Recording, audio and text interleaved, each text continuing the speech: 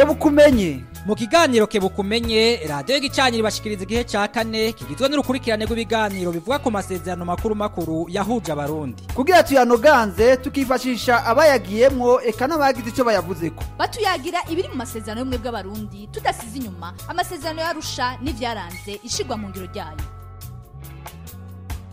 Ndabaramutse bakunzi namwe banywanyi ba radiyo igicaniro. Ndabaha ikaze mu gukurikirana igice ca kabiri ari naco ca nyuma gisozera ingingo zose zaganiriwe ko mu masezerano yarusha imbere y'uko tubandanya kuganira n'abatumire reka rero ndabibutsa ingingo zigize amasezerano ya gatanu bavugamo ivyemeza ko ayo masezerano azokubahirizwa kaze. Igicaniro igicaniro. yo gasupa kumizaho kumizaho nyene kuri uwo murongo nyene. Ya ya ya ya ya ya ya ya. Nama namakika itiyo uzi ibiganiro bya radio cyane ukuntu binyuhaka jewe. Ipo yo reka reka reka reka. Umva yashaka kumviriza ibiganiro bya politike eh. ibiganiro bijanye n'imico kama. Yo eh. nta handi ivyo atari kuri radio cyane ikirundi cyabo yo reka reka ni woraba reka jewe.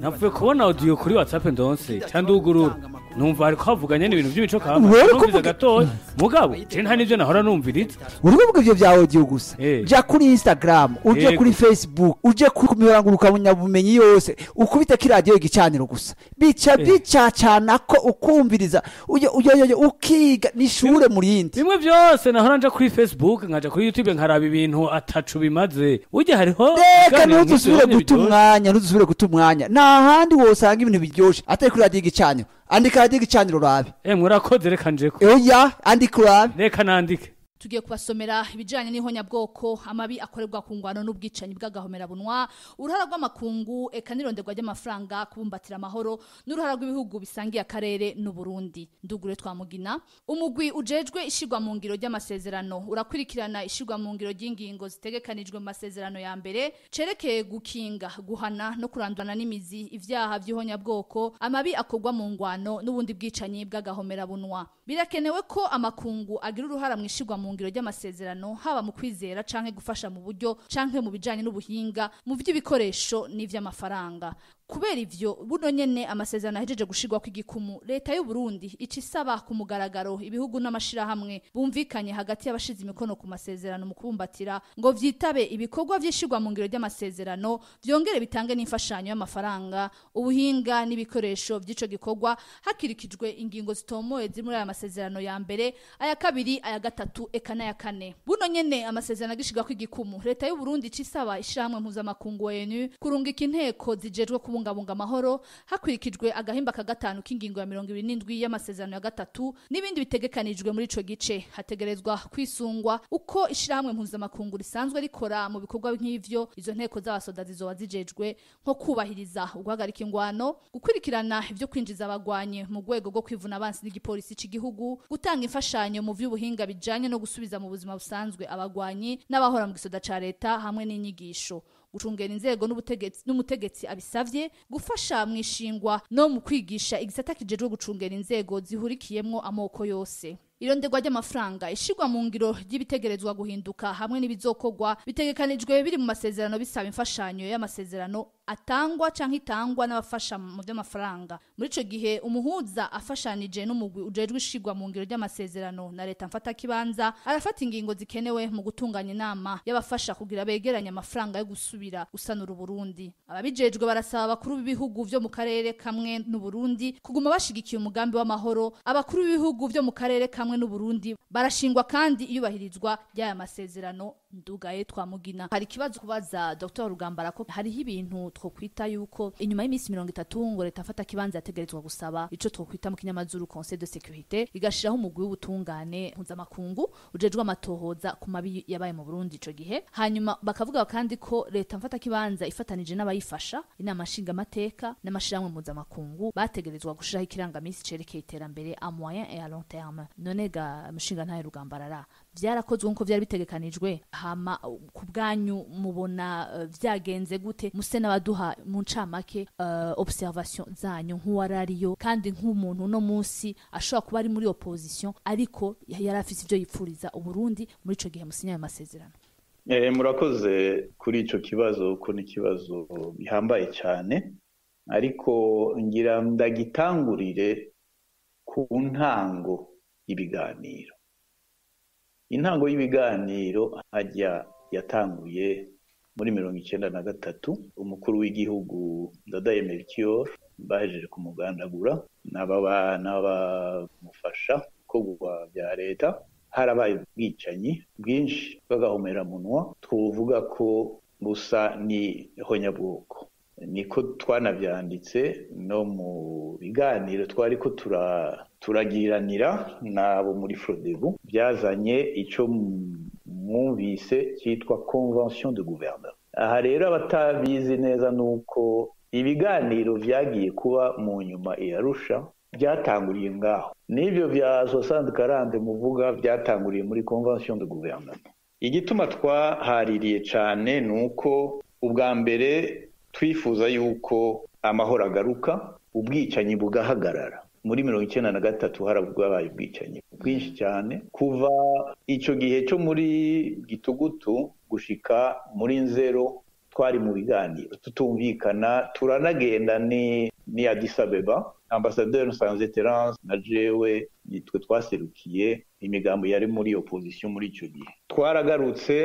turumvikana umukuru w'igihugu azoba bwegu. Biciye mu mwumvikano biciye eh, hari abaherutse kuvyandika biciye muri cour constitutionnelle n'ibindi. Ntibyari vyoroshe. Nobabwira yuko kuva aho mirongo ibiri na rimwe gitugu gushika muri nzero ubutegetsi koko ntibwari buhari. Madamu sylvie kinigi yari umushikiranganji wa mbere? Yarashoboye gutangura gukora kandi ahantu kuri twobimushimira araduhuza twagira inama muri kigobe eh, gushika aho duteba tukumvikana eh, amasezerano bise ayikajaga hama agahirwa agaba convention de gouvernement. Ayo masezerano twakomeje tuyaharira aho ntaryamira apiriye niyo yaje kuzana convention de gouvernement yashizeho ntibantunganya. Muribuka ko bavuga perezida bwegu nuko imbere y'uko muri convention de gouvernement tubyumvikana ko yari uw'imfatakibanza ko yari avuye muri assemblée nationale. Iyo ndabigaruka ko kugira ngo mutahure neza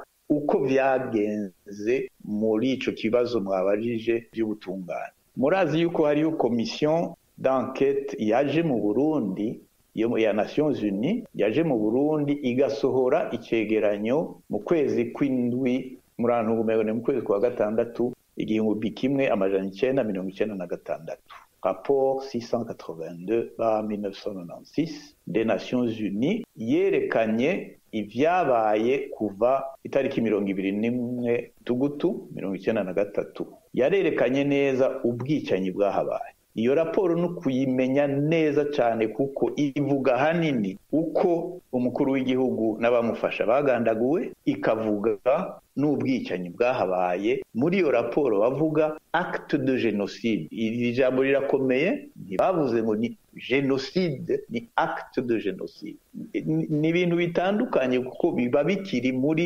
enquete mu matohoza. Ariko bakabona ibimenyetso byerekana yuko bishobora kuba ari jenoside hari hadegeganije rero yuko leta imaze kuronka iyo raporo ikisaba aho nyene ko baduga ku ijambo hakaza noneho iza kunonosora neza gushimanga ibyo babitoye. Kandi no muri icyo cegeranyo cyabo baravuze n'ibyo muri mirongo irindwi na kabiri. Ko barasabye yuko niba haje iyindi komisiyo yo izoba judiciaire ko boraba n'ibyabaye muri mirongo irindwi na kabiri kuko bishobora kuba bifite isano n'ibyabaye muri mirongo icyenda na gatatu. Ibyo biranditswe neza rero iyo raporo nababwiye ko yasohotse muri mirongo icyenda na gatandatu. Yasohotse umunsi umwe imbere y'uko perezida buyoya afata ubutegetsi. Amaze gufata ubutegetsi iyo raporo hari ababimurungikiye rero ariko mvugana na matiyasi itimana yarayimurungikiye muri perezidansi itaba n'abapubliye uko yari yari en contact na secrétaire général adjoint w'umuguinea arabimurungikira nawe aca arabirungikira iyo raporo ntibigeze bayishyira imbere ngo yerekane mu barundi twayironka novuga mu mbisho ariko ntibyigeze bija imbere natwe twari twibajije igituma bitabaye ngo abarundi banayimenye canke n'abanyepolitike bamwe bamwe bashobore kuyigaragaza canke ngo inavugwe.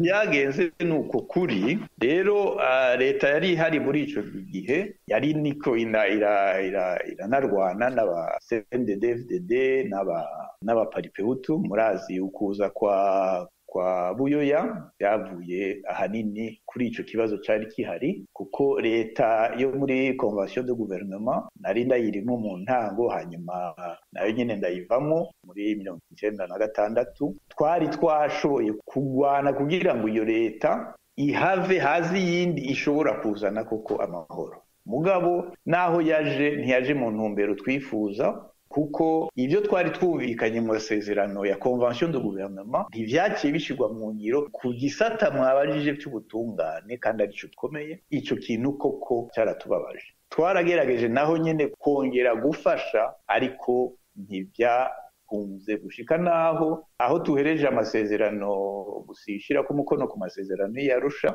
bamwe muri twebwe twarumvikanye tuti nukuri turavye intumbero ya perezida buyoya na iprona bizotugora kugira ngo ibyo twashatse ku gisata cy'ubutungane eh, kija mu ngiro kuko nta nsiguro twashoboye kuronka igituma ijya raporo ya mirongo icyenda na gatandatu itashizwe mu ngiro mugabo umuntu arashobora kubyibaza. Haciye haba umwumvikano hagati ya iprona na frodebu kugira ngo abandi babigize inyuma no mu masezerano yarusha ni byo byagiye imbere. Ariko twaragerageje kubirwanya. Narafunzwe kubera ibyo afunzwe kabiri. Ariko twagumeje twerekana yuko intumbero twifuza ni uko koko igisata cy'ubutungane cyokora kugira ngo abarundi bashobore kugira umutekano nyawo bamenye kuri ku byabaye bamenye babo icyabahitanye n'ibindi. Kuko naho jeremy yavuze ati abarundi baricanye hano ngira mu gifaransa nuvuga nuance gatoyi oya hariho abarundi bishe. Kandi ahanini abishe baba bari ku butegetsi hariho rero n'abantu abarundi benshi b'inzirakarengane bishwe. Haba mu bwoko bw'abahutu haba mu bwoko bw'abatutsi ni benshi. Inzirakarengane mu burundi nizo nyinshi. Rero kugira kivunga ngo banakabarishe banakabarishe. Oya sibi ubutungane iyo komisiyo yategetswe kuba ihari niyo yari kwerekana neza na neza ati ubwicanyi ni ubwicanyi iyo komisiyo verite reconciliation twayikuye ahanini mu vyabaye muri afurika y'epfo no mu bindi bihugu bitandukanye. Novuga yuko no muri ivyo bihugu ntivyari vyoroshe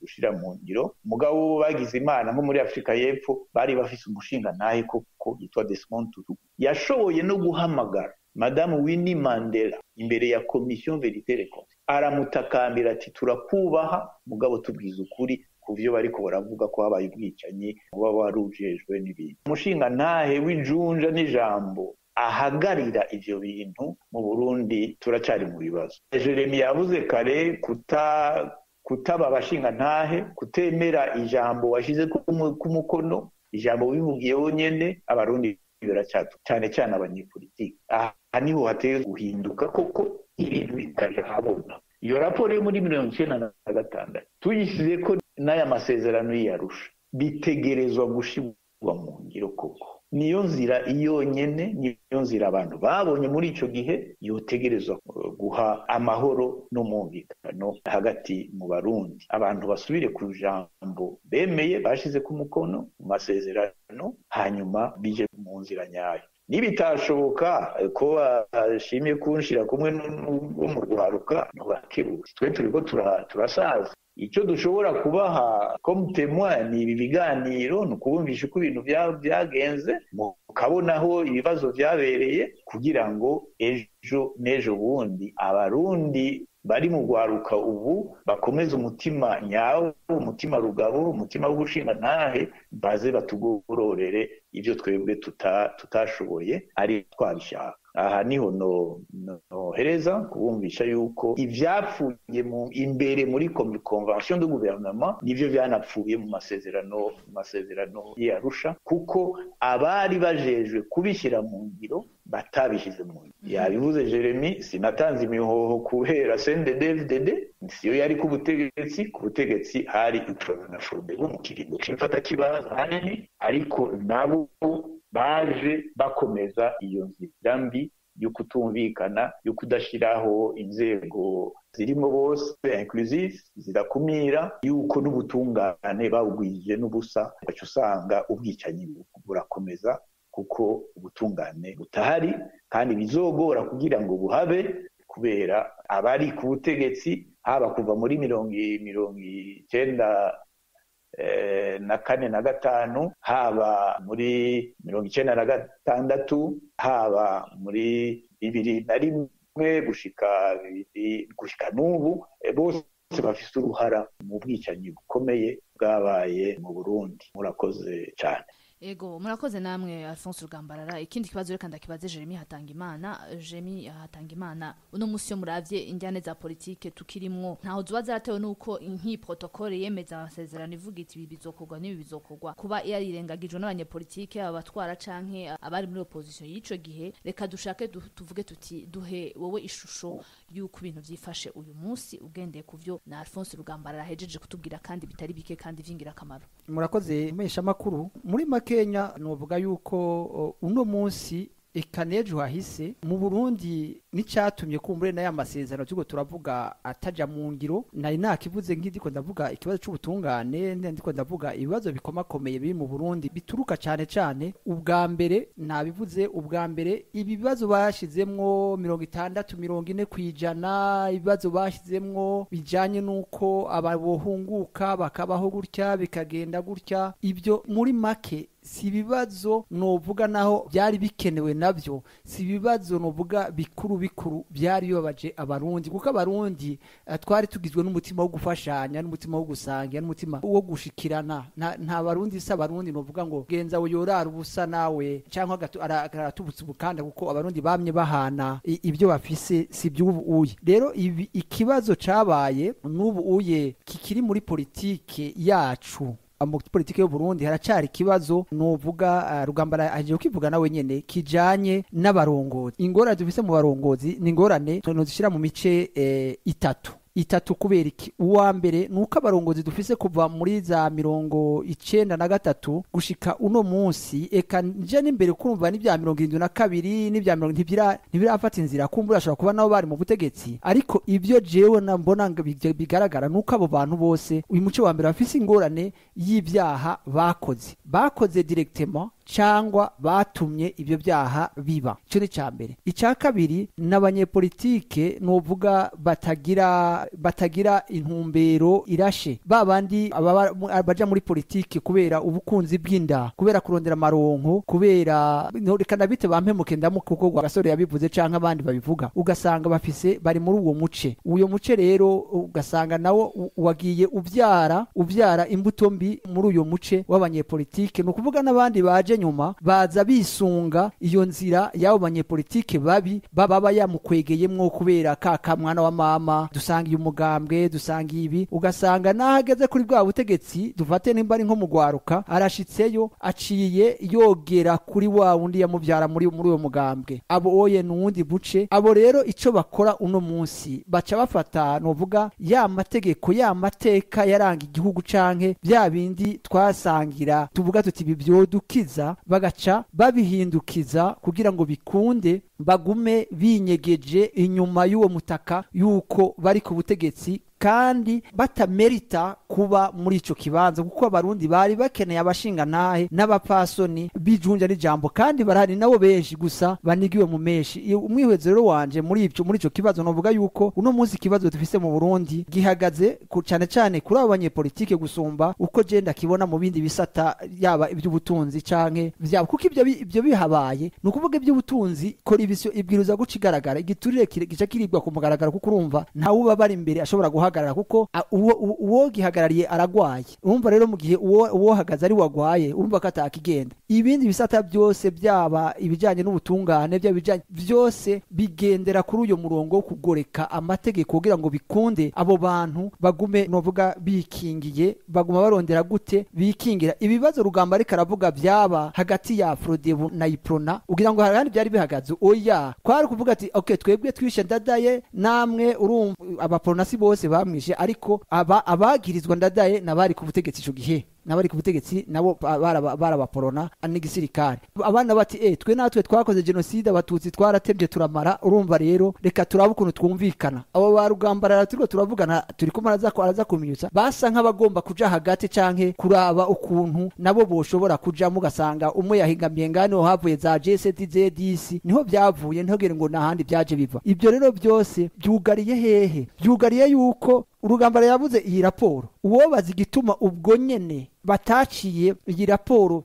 basaba ko nations yo isozera ni giki ko i- aba- abo bantu baraje barakora ankete barasohora raporo. Ubwo nyene baca basaba ko nations ni ibandanyiriza ko igashiraho umugwi bagaheza bagatumura ko ari jenoside canke atari jenoside. Kubera iki bataciye babishiraho? Kubera iki gushika uno munsi iyo raporo ikinyegeje? Ni ukuvuga yuko haciye haza havuye abaporo n'abaprodebu haza abasenedede bakirizwa ibyaha byo mu ntambara nabo babagiyeho. Kuko ntibojaho uwoza akababaza abanyeshuri buta bica biba izindi ngorane ugasanga bari muri ibyo rero byo kwama bariko barikwegera ko bariko ba ikibabaje nuko bariko bica akahise bariko bigisha ugwaruka akahise kabi. Nibaza yuko rero je nosaba yuko ugwaruka ahubwo rwari rukwiye gu- gukanura amaso rukabona bakabona bagasoma abanyepolitike tukabasoma neza uko bari tutanyegeje tuta- tudacegera kuko nitwaza kubasoma uko batari. Tukabona umengo ni beza no namabingira iyamitse ubushato bw'intamba ni- niko je nobivuga kuko ibi ibi byaha bafise aya maraso navuze bafise mu ntoki nta kuri na kumwe koko yanagura atari igihe abo bantu baba batakiri ku butegetsi. Kuko mu gihe bose bari kuri butegetsi bizogora ko umuntu yimena igihute. Ntabwo bashobora kwimena igihute ngo bavuge ngo twebwe bumva twarakoze. Yavuze muri Afrika du Sud ko hariya bavuze bati twebwe tubwiza ukuri. Ubwo mwebwe muri ku butegetsi nta ngorane nta- bwicanyi bwaba bwarabaye. Kumbure bashobora kuba baruboze bakabivuga. Eswe uno munsi abarundi bari ku butegetsi barashobora kwemanga bakavuga ati twebwe twarakoze ibyaha ibi n'ibi n'ibi n'ibi. Ntabyo tubona kuva mu bo muri mirongo icyenda na gatatu gushika uno munsi. Abahanywe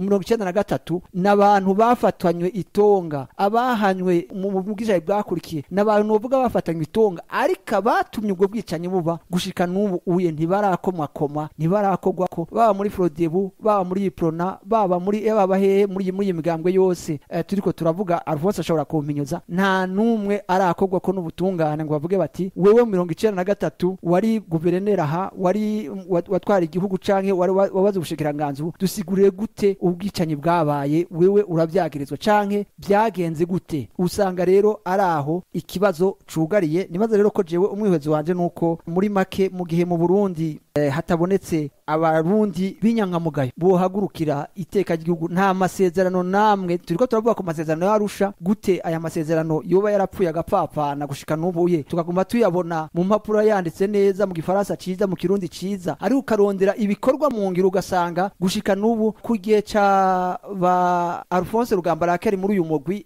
ngo baratanze raporo sinzi ko ari nyuma yiwe canke ari imbere yiwe bavuga yuko bitatu kuri gatanu bitarakurikizwa. Unyumvirize nawe kandi byose byasa nk'ibyari kuba imbere yuko leta mfata kibanza iheza. Rero urumva byinshi ni ho byari gukorwa ariko ntibyakozwe. Byumvikana yuko rero abategetsi batigeze babishiramwo ugushaka. Rero hakenewe abategetsi mu Burundi babishiramwo ugushaka kugira ngo bikunde ano masezerano n'ayandi yosinywa ashobore koko gushigwa mu ngiro abarundi baruhuke. Abarundi duture uru rusyo twikoreye rw'abanyepolitike babi. Murakoze cyane Jeremy hatanga imana dusozera na Gambazi Alphonse Rugambarara. Uno munsi uburundi aho bugeze hari ibisata byinshi byavuzwe muri aya masezerano uko bigiye gukora nuko bigiye gutunganywa. Kumbure byose ntivyagenze neza. Hari ibisata bimwe na bimwe mubona ko amasezerano yoba yarakurikijwemwo. Byaba bihari bitanahari muratubwira uko mubibona kugira ngo dusozere hari tumwamuhaye abarundi uno munsi. Twame tubivuga kuva tugitangura aya masezerano yaravye uyasomye yari meza cyane ku buryo yari gushobora gutorera umuti ibibazo abarundi bari bafise. Ariko kudakurikizwa kwayo mwabivuze mutandukanye mwese na Jeremy. Hari abo twavuga babikuramwo inyungu canke bavyungukiramo dusubize kuri ico kibazo co dusozera dusezera n'abanywanyi bacu bariko baradukurikira. Eh, murakoze. Tubivuge tubisubire kuko amasezerano y'iyarusha yavuye mu biganiro kandi birebire. Hajya babona yuko ari byabaye yarusha mugana babwiye yuko intango yavyo ari mirongo icenda na gatatu. Leta yari ihari yarahunze ihungira muri ambasade ya- y'abafaransa abo muri iprona na perezida buyoya nabo nyene barahunze. Perezida buyoya yahungiye muri ambasade ya amerika abakizigenza bo muri iprona ngo bari batandatu bahungiye muri nonsiyature igihugu nta mutegetsi cyari bavuye muri ambasade de france bagenda muri hotel club du lac hariya kajaga. Ni ukuvuga ko ubwo bwicanyi bwari ko buraba mu nyuma nta n'umwe yari karasemera avuga ati nibihagarare nibigire iki? Kuko no muri icyo gihe na- na- n'amaradiyo ntiyavuga cyane uko bari babijejwe siho bari bari eh, n'ibindi. Eh, ni ukuri byari ibintu biteye agahinda. Hari rero abahagurutse bati oya guhagarara. Twaragiye muri etamajoro twagiye duhamagawe. Ndibuka ko jewe natwaye konsiyo ati iyi niyo twebwe tugendera ko nabo badutumye ko tugendera kuri constitution. Niba mwemera yuko constitution ihari turashobora kuvuga ijambo niba mutavyemera nta kundi komeza inzira yanyu ntaco dushobora. Twebwe aba- abasivile nta nkota dufise nta mbugita dufise nta inkoho dufise dufise ibwirizwa shingiro. Bamaze kutwumva turumvikana tuti tugende kuraba abari muri ambasade y'abafaransa mu ntango eh, twari twagize groupe ya- yari irongowe na musenyeri ntamwana musenyeri bududira turagira akanama turumvikana abagenda kuri ambasade y'ubufaransa. Naho nari muri delegation y'abantu bane twagiyeyo ariko twakiriwe nabi na ambasaderi wo mu bufaransa. Aratwakira nabi. Koko aranka yuko tuvugana ntabwo twifuza ko tuvugana kugira ngo bagire icyo bavuze bahagarike ibiriko biraba eh, hagati mu Burundi. Tumaze kubibona uko tuvuga tuti nta kundi rero dutegerezwa kubumvisha ko bategerezwa kuza tugatora inyishu y'ubutegetsi kugira ngo ibintu bije mu ngiro ivyo vyarakozwe haciye banyegereyegere haciyemwo n'ubwicanyi tutashaka. Ivyo rero vyatumye yuko abantu basubira gutekana ariko hari abashimye guca bakomeza urugamba. Bica bituma n'iyo convention twasinye itashobora gushigwa mu ngiro kuko urugamba rwarakomera nogaruka kwerekana yuko n'ayo masezerano y'iyarusha vyabaye ico kimwe. Urugamba rwariko rurabandanya. Kuko abariko bagirira urwo rugamba n'abari bajejwe gushira mu ngiro umwumvikano ntibari bafise icyo nokwita esprit de reconciliation jeremy yabivuze ibitari bike bituma abanyepolitike baja muri politike bakora ibyo tubona ahanini aho murumva yuko e, ijya kijya kibazo kijya raporo yo muri mirongo icyenda na gatandatu cyari ikintu gikomeye. Cyatumye abantu babona ati e turi muri danje ibyabaye byose mu nyuma byari bihagaze ngaho.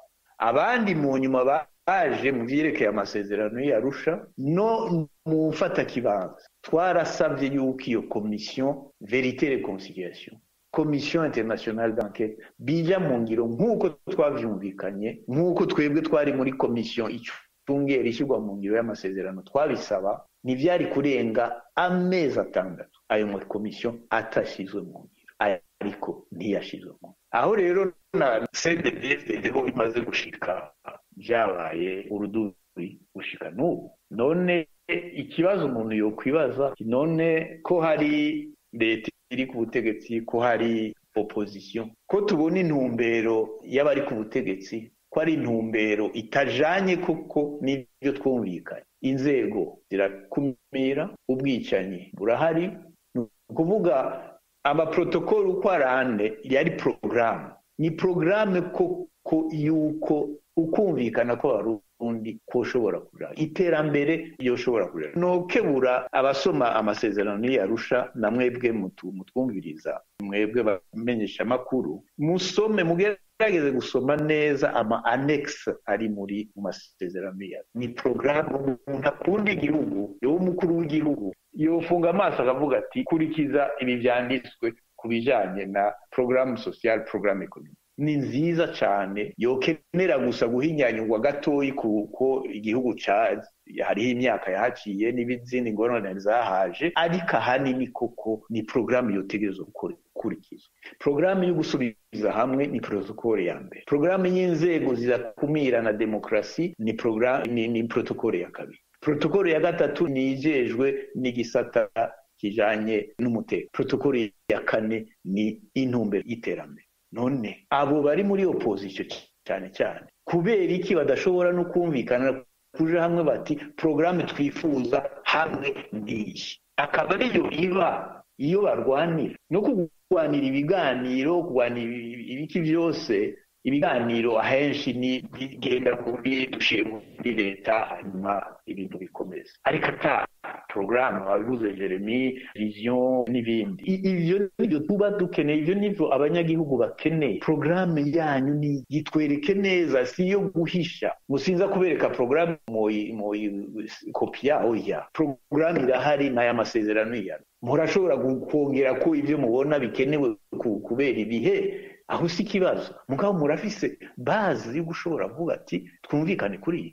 Ariko ivyo ntabihari kubera kubera iki? Mwabuze iby'ubutungane abenshi bari muri politiki ubu ntibigeze baja muri bya mirongo icyenda na gatatu mirongo irindwi na kabiri n'ibindi. Ni bashasha. Bashobora kuraba bagasoma neza ibitumbereye by'uburundi bakabyumvikana ko bakabishyira mu ni igiki kibuza ni ukuri ngaha ndarengerwa gatoyi. Mugabo ndabona ko ahanini ni iki kibazo c'akahise kacu cyo kudatahura ibya politike na byo nyine birimo uko umuntu araduka akagenda muri politike atabanje kwiga kugira na education politike aho ni ikibazo cyane nokebura naho nyine urwaruka ndabasabye mbere yo kuja muri politike banza mumenye igihugu cyane iyo ari education politike ijanye na, kumenya kahise no kumenya inama barundi bagize ni byiza cyane kuko bikwereka ico wewe ushobora kuzana kirusha shije abambere kuko niko kazi k'umuntu uwo ari we wese. Kwiteza imbere ubanza kuraba uko wari uri kugira ngo ushobore kwiteza. Udafise referanse yo kuvuga ati nahora ngaha reka nduge ngaha. Rero n'igihugu nico kimwe. Igihugu kimeze nabi mwababaye mwagize ndinyasho uvuga ati oya n'ukuri ibi biriko biraba sinyabi menya rero uko byatanguye iyo uko byaje n'igituma bidahinduka nawe uca uhinduka ubihindure. Niyo mpanuro no hereza ko ngaha mvuga nti ubu ukoko biri mu minwe cyane cyane y'urwaruka. Muba urwaruka rwumvirize indwara twagwaye ku bantu ku bashinga ntayo bashobora kubibabwira neza bakavuga ukuri kugira ngo mukosore ibyo twebwe tutashoboye gukosora. Murakoze. Ego murakoze cyane alphonse rugambarara. Reka ndabashimire cyane ku ntererano mwatanze muri iki kiganiro. Nshimire kandi na jeremy hatanga imana niyaba hari nawe akajambo biba yifuza gutekerera abarundi nawe acagira ko akavuge. Murakoze cyane floriane. Nagomba guhera kuri aha rugamba ravuze ati abanyepolitike bashasha. Iyo avuze ko ari bashasha birantangaza gatonya kuko uko nobugerageza kubivuga jewe havuye urungano rwa bantu bantunganya haza abajede bubatwara kuko abari muri senedefudede bari abajede buhijya yejo bari mu gwaruka bari muri prode nuvuga ntibantunganya nta ntibantunganya nta perezida hari uno munsi. Bose bari bahuriye mu kintu kimwe batiye bwiye amakoro yajaho bari bamwe. Ni ukuvuga yuko Jeremy hatanga imana. Uvuze ati bari bamwengera nuko bumva ibintu co kimwe muri ico gihe. Bari basangiye urugamba. Rero nta nta ntibantunganya nta CNDD-FDD nta FRODEBO muri iki kibazo kijanye n'ingorane zabaye muri mirongo icenda muri mirongo icenda na gatatu. Ni- ni- ba- bose basa nk'abafise bimwe. Gusa ibyaha ba- boba bagirizwa muri kahise ntibisa nta novuga rero nta bantu bate mu rundi ku rundi ruhande nta baporona uno munsi novuga abari ku butegetsi. Bose bari bari hanze. Ubu iporona no bifata yuko ari irongowe mu nguvu za CNDD-FDD ni ukuvuga CNDD-FDD itora umuporona abona yuko ashobora kugamburuka ibikorwa byayo ikaba ari we ishiraho bikaba birangiriye ngaho. Nicyo gituma mu mugambi iporona hama hari urwamo no gucana no gucana cana mu yindi migambwe yose ihagarariye aho nyene ugiye kuraba mu Burundi uko bimeze. Rero mu Burundi uco novuga nuko hama hanegosya muri ino minsi hahura abantu batabwirizwa guhura. Ababwirizwa kunegosya nabo bantu uno munsi novuga badafise ico biyagiriza muri kahise noneho bagahangana n'aba bantu kugira ngo bikunde habe novuga novuga equilibre bikunde ibyo bashobora gusezerana bishobora kuja mu ngiro n'ahandi ubwiye ngo minani ariko aranegosya na, na, na varisito minani canke indi ariko aranegosya nande ni bamwe ni bamwe ugiye kuraba mu, mu, mu bya bintu twavuga bituma amasezerano abarundi basezerana ataja mu ngiro usanga yasumwe ko n'abantu bahuje ibibazo bameze kumwe icyo baba batandukaniye ko kuko kuba kurondera ubutegetsi rero je cyo novuga dusozera kumbura ya masezerano n'ayandi azoza nuko abarundi bonyene ubwa mbere. Abarundi bonyene bakwiye kumenya mbega amasezerano abanyepolitike basinye nayahe.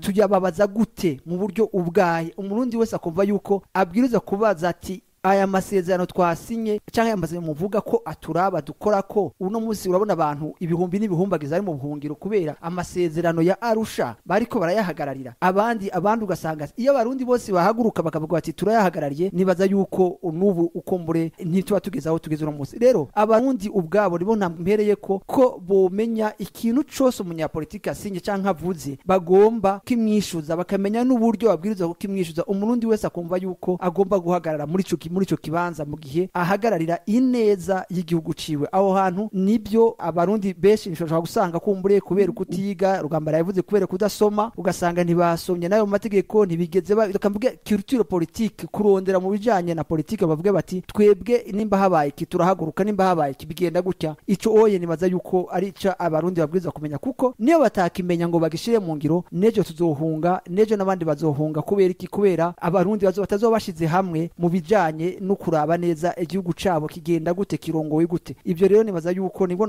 notera kamo ntera kabanye politiki kugira ngo bahindure bahindure kuko igihugu nishobora gukira mu gihe abarundi abanyepolitike cyane cyane badahinduye intumbero yewe badakozwe ko n'amabi ariko araba mu gihugu n'amabi yashikiye abarundi. Ngo bakorwe ko bavuge bati nawe reka tugeze ngaha reka tugeze ngaha abarundi baruhuke abarundi bashobore kurya baryame uwarimye ashobore kwimbura uwashoboye kurondera ashobore kuronka hadandariza ashobore kuronka ukuntu abaho. Ibyo rero ni byo no- no- novuga muri makenya kugira ngo abarundi nibaze ku gihugu cacu coshobora gu- gukira kigatora ihungu mu gihe koko abarundi twoshobora kumva yuko ikibazo kibaye icyo ari cyo cyose kituraba twese. Atari cyo gutuma naka atari cyo kuraba ko naka naka arakibona. Nuko ni cyo ni cyo novuga muri makenya rero. Ariko nashaka gusaba abarundi bose aho bari bumve ko nejo aho basezeraniye babwirizwa gushira ibyo bintu mu ngiro. Abanyepolitiki cyane cyane bumve ko icyo basezeranye. Ese iyo bosubira bagasoma ibyo bavuga ku bijyanye n'ubushingantahe cyangwa bakabifuta bakabika ikindi gihugu ntibyite ko ari iby'abarundi kuko iyo uvuga ibintu ntubishyire mu ngiro byiza wopfa umubireka ukabigabira abandi bantu. Iyo valere y'ubushingantahe ikabavamwo ntihagire usubira kuyibavuga ko tukavuga ibindi. Hanyuma gutyo um- abantu bakatumenya ku kindi kintu batumenya ku bushingantahe tutari. Nicyo nagomba kuvuga tugira amahoro. Ego me Alphonse Rugamba arangira yarafise ikintu avuga yego gatoyi gusa ku byo jerema kuvuga. Iyo mvuze bashasha ni ukuvuga generation nakebuye kandi yuko iyo generation itegerezwa kuja muri education politique kumenya kahise histoire education de leadership n'ibindi. Ivyo nivyo mbona vyabuze ahanini eh, kugira ngo urwaruka urunganwe ruje rugire ico rwongeyeko ku byo eh, bariko barumva. Nayo ahandi mutabigiyemo ni ukuri abo nyene bavuze ba kera nibo bazoza baravyara abandi babigisha babigisha amabi. Hanyuma abashasha nabo murabizi yuko hari imigambo yaje n'inyuma y'amasezerano yarusha hariho za MSD IPD eh, numva PPD hariho n'imigwi yagiye hamwe eh, Sephora Rusha bose ba- bari bari mu kuvuga ivyarusha ariko sindababona bari kumwe ngo bakige bige ayo masezerano ayo ariyo aha ni ho hakiri ikibazo ko ah, vyiza yuko iyo mi- migambwe yose novuga ko ari mishasha yaje inyuma yuko amasezerano yarusha ashirwa ku mukono yoraba neza na yo nyene ikamenya ayo masezerano ico ari cyo ni ico boshobora kunga hamwe baka bakagishyira imbere eh, aho ni ho kwerekana ko bariko bara- barunguka mu vya politike no muri vision murakoze. Shimire mwebwe mwese mwakurikira radio igicaniro nshimira na cane cane Chantal Niragira mu buhinga bw'ivyuma.